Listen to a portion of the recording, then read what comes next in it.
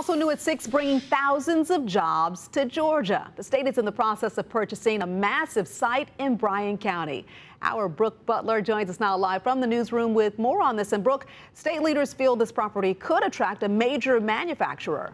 That's right, Shannon. Just take a look at the size of this property. It is massive. The Bryan County megasite is almost 2,300 acres, and the purchase of this site is actually the largest strategic investment in state history.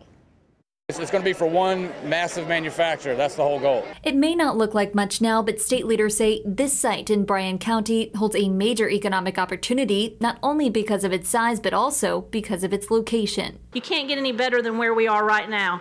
We're adjacent to I-16, less than 15 miles from I-95, and then less than 30 miles from the Port of Savannah and Savannah Hilton Head International Airports. This uh, proximity for this site to the port and rail, as Anna mentioned, are incredible.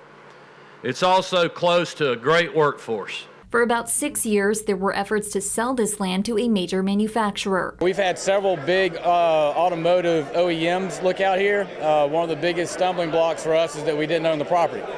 Uh, you know, you're dealing with you know, a lot of different families, and now we're changing that, and this property will be ready to be developed instantaneously. You see, the state is using money from their sale of the Chatham County Economic Development site to Amazon to purchase this mega site and get it ready for a manufacturer. A lot of the deals that we're doing now, these companies are saying we need to be operational first quarter of 23, second quarter of 23. We can do that with this site. And Governor Kemp says this is only the beginning. We're not one and done here. We're continuing to look to have sites just like this in other parts of the state. We have some together now, others that we're working on putting together.